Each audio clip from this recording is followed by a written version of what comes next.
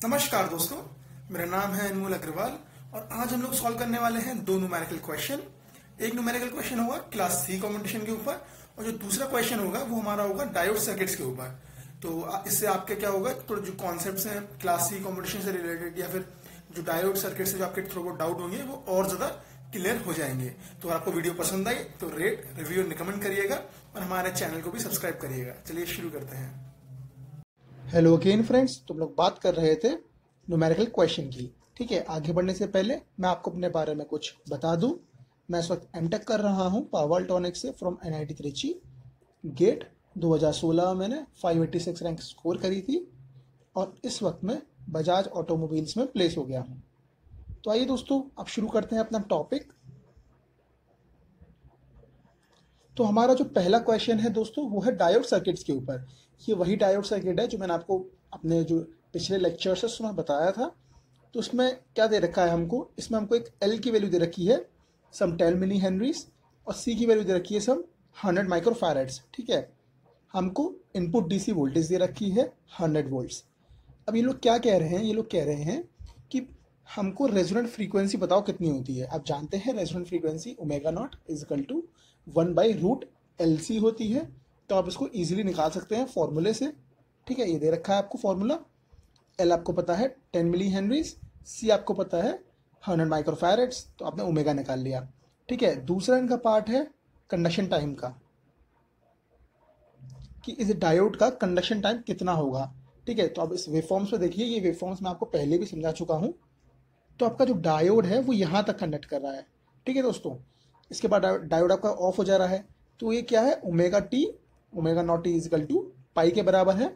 तो यहाँ से आप निकालेंगे अगर आप टी की वैल्यू तो पाई रूट एल सी आ रही थी। आपको याद होगा, आपने जब सॉल्व किया था तो आपने रखा पाई रूट एल सी इसको आप याद भी रख लीजिए, मैं तो ये कहूँगा कि ये बार बार क्वेश्चन में इस्तेमाल होगी ये वैल्यू ठीक है तो आपने फिर से एल की वैल्यू रखी और फिर से सी की वैल्यू रखी पाई की वैल्यू आपको पता है।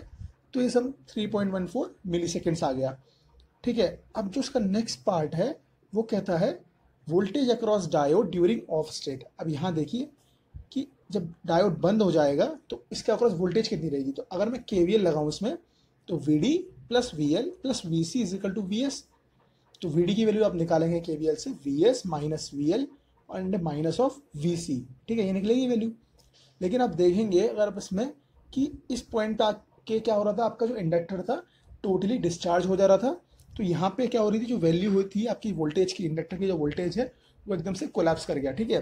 तो इंडक्टर का जो वोल्टेज है वी तो ज़ीरो हो गया। अब बचा वी एस वी एस क्या है? टू वी एस के बराबर सॉरी बचा वी सी तो वी सी है आपका टू वी एस के बराबर। तो जब आप केवीएल लगाएँगे V S minus two V C कर टू वी एस करेंगे तो आपको मिल जाएगा वोल्टेज ये। ठीक है? आप देख सकते हैं। हमने इसको वी टी मान रखा है तो आप जब आप इसको करेंगे V T plus V C to V S तो यहाँ से आपको निकल के आएगा माइनस ऑफ़ वी एस और वी एस हम, हमारा है हंड्रेड वोल्ट इसलिए ये हो गया माइनस ऑफ़ हंड्रेड वोल्ट ठीक है? तो ये तो हो गया आपका पहला क्वेश्चन अब दूसरे क्वेश्चन की बात करते हैं. दूसरे क्वेश्चन में क्या दे रखा है? Circuit below employs competition technique for thyristor DC input voltage एक सर्किट है हमको नीचे दे रखा है जिसमें हम लोग का क्या है? एक कॉम्पिटिशन टेक्निक इस्तेमाल हो रही है. अब क्या है? या तो आपको नाम दे रखा होगा कॉम्पिटिशन टेक्निक का पेपर जो अपना क्वेश्चन आएगा यहाँ पर नाम नहीं दे रखा होगा। तो आपको आइडेंटिफाई करना है। तो जैसे कि यहाँ पे आप आइडेंटिफाई कर सकते हैं क्योंकि ये ईजी वे में डायरेक्टली आपको दे रखा है। लेकिन कभी कभार क्या होता है डायरेक्ट ही जो हमारे सर्किट हैं चॉपर है, हमारा जो डीसी डीसी कन्वर्टर्स हैं, या फिर जो इन्वर्टर्स हैं डायरेक्टली उनके अंदर थायरिस्टर लगा के, उनके साथ ही आपकी कॉम्पिटिशन टेक्निक लगा के दिखा देते हैं क्वेश्चन में, ठीक है? जो आपके गेट में क्वेश्चन आते हैं। तो अगर इस टाइप का कोई क्वेश्चन आ रहा है तो वहाँ पे आपको आइडेंटिफाई करना पड़ेगा। कि ये क्या है? कौन सा कंपटीशन है? क्लास डी है क्लास बी है क्लास सी तो वहाँ पे आपको आइडेंटिफाई करना पड़ेगा। ठीक है फ्रेंड्स तो यहाँ देखिए। तो यहाँ पे हमको दे रखा है आर वन दे रखा है some forty ohms R two दे रखा है हमको सम फाइव ओम्स ये डी सी इनपुट वोल्टेज दे रखी है सम हंड्रेड वोल्ट्स और हम लोग को क्या पूछा है?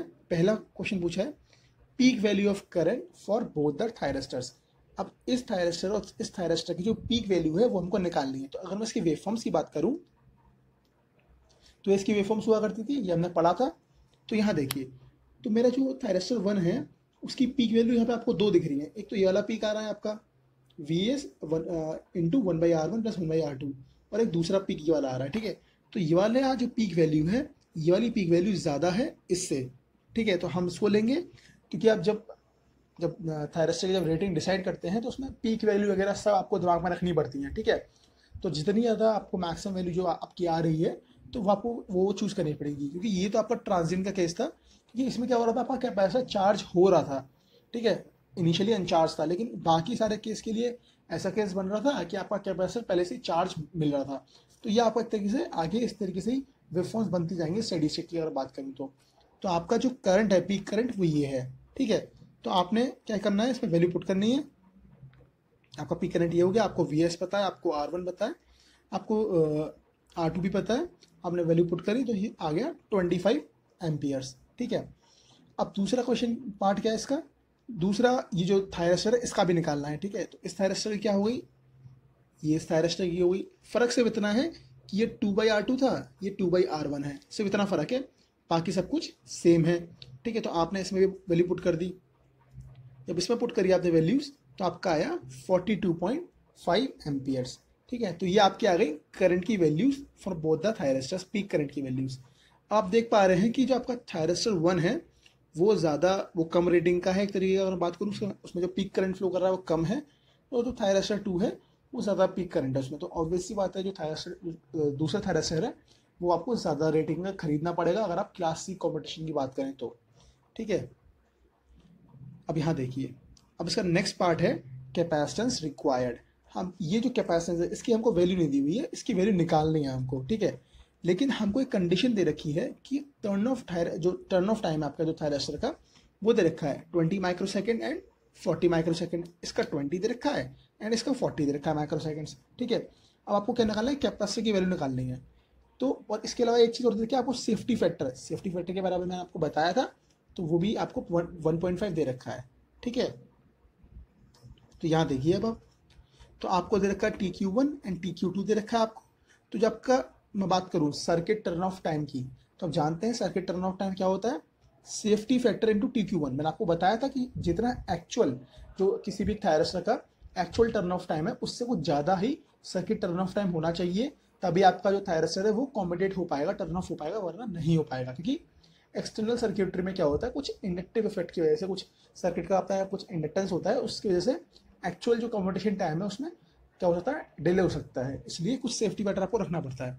तो मैंने इसको मान लिया 1.5 ठीक है तो 1.5 पॉइंट फाइव इंटू ट्वेंटी आपका आ गया 30 माइक्रो सेकेंड फिर इसकी बात करूँ तो ये आ गया आपका 1.5 point five into forty is equal to sixty microsecond ठीक है तो ये आपने दो कॉम्पिटिशन टाइम निकाल लिए। आपको इनकी वैल्यूज़ भी पता है। टी सी वन वन होता है आपका R one C L N two तो आपने ऐसा सी की वैल्यू निकाली। तो सी की वैल्यू आपकी ये आ गई, आपने वैल्यू स्पोर्ट करी सारी।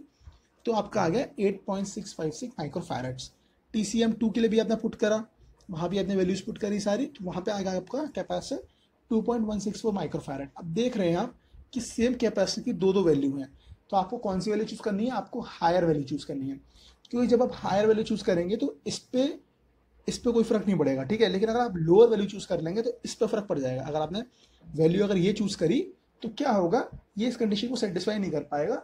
और आपका जो कैपेसिटेंस जितना रिक्वायर्ड है जितना उसको वोल्टेज मेंटेन रखना है for the competition time circuit turn off time की बात करूँ फॉर द हैरेस्टर वन तो क्या होगा वो उसकी जो uh, अपनी जो उसकी डिमांड है वो पूरी नहीं कर पाएगा तो वो कॉम्पिटेट नहीं कर पाएगा ठीक है? लेकिन ये कॉम्पिटेट कर जाएगा लेकिन अगर मैं वैल्यू ज़्यादा रखूँगा ये इससे भी ज़्यादा रखूँगा या फिर ये वैल्यू अगर चूज़ करूँगा तो दोनों में वो कंडीशन सेटिस्फाई हो जाएगी ईजिली ठीक है दोस्तों? तो ये थे आपके दो नोमेरिकल्स इन दोनों आपकी टेक्निक्स के ऊपर। अगर आपको कोई भी डाउट हो तो मुझसे नीचे कमेंट करके पूछ सकते हैं। अगर आपको वीडियो पसंद आई तो आप मुझे रेट रिव्यू एंड रिकमेंड कर सकते हैं। नीचे रिकमेंड का बार है। उसके अलावा मुझे फॉलो कर सकते हैं। ऊपर एक फॉलो टैप दिया हुआ है, उसको प्रेस करके। इसके अलावा एक नीचे लिंक दे रखा है। इस लिंक का इस्तेमाल करके भी आप मुझे फॉलो कर सकते हैं और आप हमारी अन अकेडमी लर्निंग ऐप पर भी मुझे फॉलो कर सकते हैं। ये हमारा यूट्यूब चैनल है अन अकेडमी इंजीनियरिंग स्टूडेंट्स इसमें आप सब्सक्राइब करके भी मुझे फॉलो कर सकते हैं। वहाँ पे आप उसको सब्सक्राइब कर दीजिए। वहाँ पे भी मेरे लेक्चर्स पड़े हुए हैं। और बाकी सारे एजुकेटर्स के भी वहाँ पे लेक्चर्स आपको देखने को मिल जाएँगे। अंत में मैं आपको धन्यवाद कहना चाहता हूँ कि आपने मेरा लेक्चर सुना। नेक्स्ट लेक्चर में हम लोग बात करेंगे क्लास डी कॉम्पिटिशन की। तो मिलते हैं नेक्स्ट लेक्चर में। Bye bye thank you